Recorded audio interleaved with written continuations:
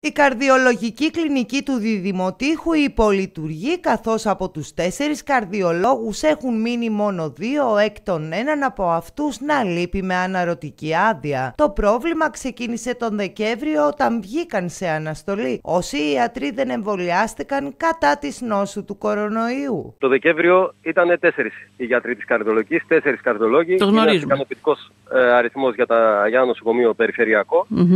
Ε, οι δύο γιατροί είναι σε αναστολή λόγω της, ε, του εμβολιασμού, οπότε μας μείναν δύο. Στον έναν από τους δύο γιατρούς προέκυψε ένα προσωπικό πρόβλημα υγείας, Ναι. το οποίο δεν θέλω να πω περαιτέρω, αλλά με τη χθεσινή ενημέρωση που έχουμε ότι πολύ σύντομα θα επιστρέψει στα καθήκοντά του.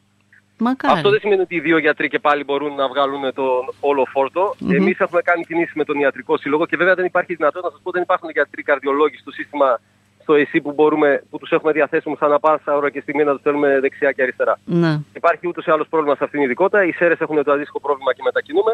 Αντίστοιχα θα κάνουμε και στο νοσοκομείο Δη- Δημοτήχου. Την άμεση βοήθεια του Ιατρικού Συλλόγου Εύρου ζήτησε ο διοικητής της 4ης ΔΠΕ Ανατολικής Μακεδονίας και Θράκης, μιλώντας στον αέρα της Έρτορες Τιάδας ώστε να δοθεί μια άμεση και προσωρινή λύση έως ότου επιστρέψει ο καρδιολόγος που βρίσκεται σε αναρωτική άδεια πίσω στα καθήκοντά του. Έχω έρθει σε επικοινωνία εμείς σαν Υγειονομική Περιφέρεια με την παρότριση της αναπληρώτριας με τον κύριο Παπαδρούδη. Έχουμε συνομιλήσει, έχει κάνει ένα έγγραφο προς τους καρδιολόγους περιοχής για κάποια συγκεκριμένη διαδικασία σύμβασης ε, να δρομολογηθεί για το νοσοκομείο Δημοτήχου, όχι μόνο για το χρονικό διάστημα τώρα αλλά και μετέπειτα, να στηρίξουμε το νοσοκομείο είτε σε πρωινά εξωτερικά ιατρία είτε σε εφημερίες. Ναι. Το νοσοκομείο Αλεξανδρούπολης θα συνδράμει μέχρι ότου να λυθεί οριστικά το θέμα Μμμ. και εμείς είμαστε εδώ και το παρακολουθούμε. Ανά πάσα ώρα και στιγμή, δεν, σας λέω, δεν είναι πολλές οι δυνατότητες που έχουμε, αλλά όποιες δυνατότητες έχουμε θα τις εξαντλήσουμε άμεσα. Ο κύριος Τσαλικάκης έκανε ειδική αναφορά στους ιατρούς από την Αλεξανδρούπολη που συνδράμουν τα μέγιστα έτσι ώστε να μπορεί το νοσοκομείο του Διδημοτήχου να εξυπηρετεί τα περιστατικά. Κοιτάξτε, εγώ με το καλό να γυρίσει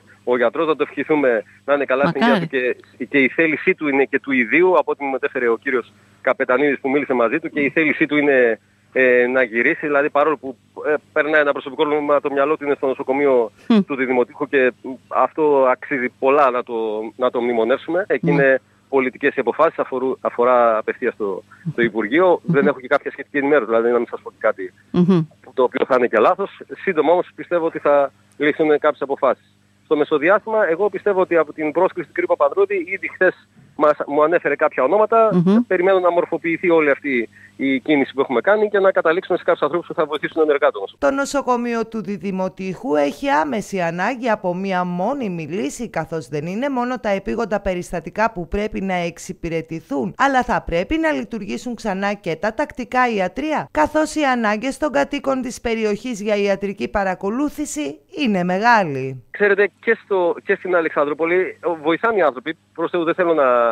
ε, αλλά και για αυτούς είναι δύσκολο αυτό που λέτε. Δηλαδή είναι η απόσταση είναι τα 100 χιλιόμετρα. Είναι ότι πρέπει να τελειώσουν λίγο νωρίτερα για να έρθουν στις 3. Να είναι και για να αλλάξουν τον γιατρό. Δεν μπορούν να κάνουν αυτοί οι άνθρωποι τακτικά εξωτερικά. Είναι δύσκολο. Δηλαδή την άλλη μέρα πρέπει να επιστρέψουν. Ναι. Είτε θα πάρουν το ρεπό όπως προβλέπετε, είτε θα έχουν την πρωινή τους εργασία στην κλινική της αλεξανδρουπολης Γιατί θα είναι μόνο στο καρδιολόγος. Ένας δεν μπορεί. Ένας είναι η πραγματικότητα. Δύο είναι δύσκολα.